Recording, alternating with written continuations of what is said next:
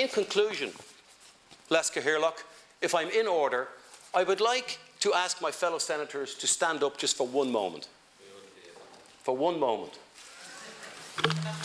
I would like to ask my fellow senators to stand up for one moment.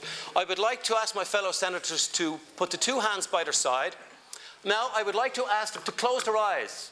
Close your eyes. Stand on one leg with your eyes closed. I'm in high. High heels. Thank you very much. The point I make in that very simple in, uh, exercise is about motory skills.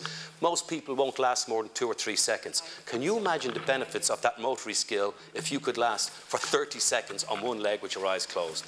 The point I'm making is exercise are the points for life. Could have been a good.